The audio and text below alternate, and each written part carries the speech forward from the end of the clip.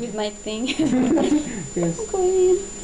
I will tell myself, you will be the future prom queen.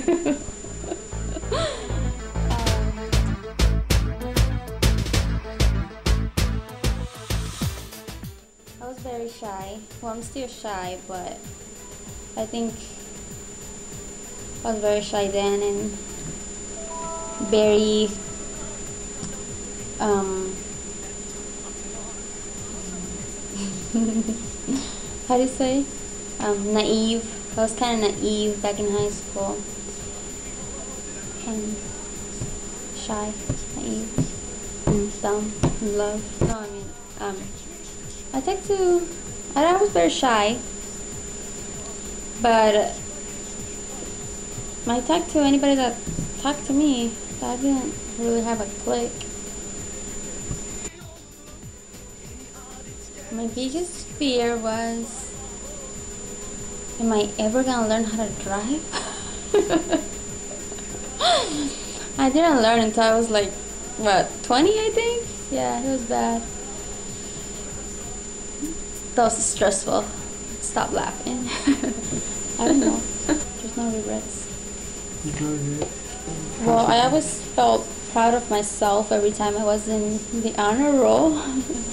every time I did really good in exams or tests or whatever, I felt proud of myself. Um, I don't think I would change anything because everything is just like a learning experience and you learn from your mistakes. If you never made mistakes, then how would you learn? I don't know. I wouldn't change anything. I keep a lot of friends from high school. Some I talk to very often, other ones not so much, but um, I mean, I still talk to them. So um, most of my friends that I have now are from high school.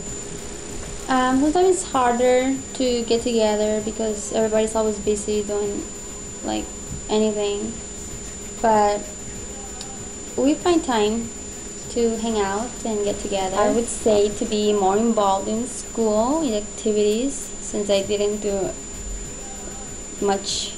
Actually, I didn't wasn't really involved. So I would tell her to get involved in a lot of activities and to try to apply for the Gates scholarship. And it's not the end of the world. You get past high school.